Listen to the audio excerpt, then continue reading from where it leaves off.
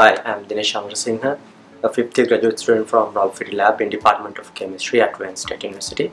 Our group is in investigating the potential of using materials for luminescence thermometry. Recently, I published a paper in Chemistry of Material reporting the use of manganese 4 plus ion in band shift luminescence thermometry. Today, I'm going to tell you a little bit about that work. Luminescence thermometers use the dependence, temperature dependence of the luminescence response for temperature sensing Usually they are useful for temperature sensing in inaccessible conditions. For an example, if you need to measure the temperature inside of a cell or the temperature of a gas flow from a gas turbine, you can potentially use these luminescent thermometers. Uh, in particular, my research is uh, interest is on using group 5 and 6 metal oxides such as niobate uh, tungstates for luminescence thermometry. A typical luminescent uh, thermometer consists of two components.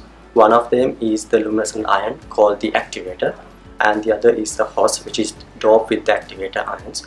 In, in this work I have used sodium four magnesium tungstate as my host material since it has octahedral magnesium 2 plus ions which can be substituted by manganese 4 plus ions and I'm also interested in manganese 4 plus as an activator since it is less studied for luminescence thermometry compared to commonly used rare activators such as uh, rare ions.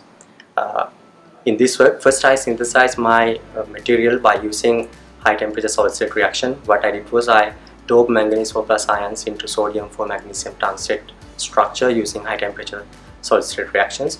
After the synthesis, I confirmed the purity of the synthesized samples using neutron diffraction. To confirm the oxidation state of manganese in the crystal structure, I decided to use X-ray photoelectron spectroscopy where I found the oxidation state of manganese to be plus 4. After that, I could confirm that manganese 4 plus substitute for magnesium 2 plus site in the crystal structure using uh, elemental analysis. After doing the, all those things, I decided to measure the photoluminescence of the synthesized samples and when I did that I observed a broad band red emission and the luminescence decay measurements confirmed that this broadband emission is due to the presence of two types of manganese 4 plus emitting centers. After that, I wanted to check the feasibility of using this material for luminescence thermometry. For that, I measured the temperature dependent luminescence response of the material by placing it inside a cryostat in the temperature range, from 100 to 400 Kelvin.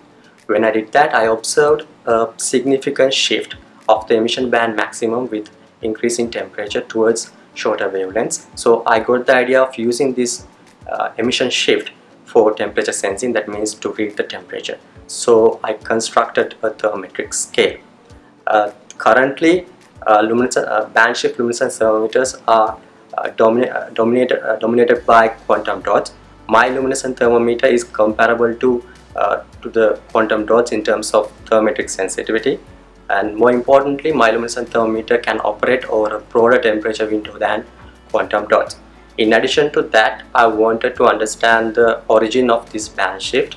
To do that, I measured uh, variable temperature luminescence decays and I found that the emission band shift is a result of the uh, of the difference between the uh, activation energies of thermal quenching of the two types of manganese 4 plus emitting centers. And if you need further details, you can uh, click on the link below and thank you for watching.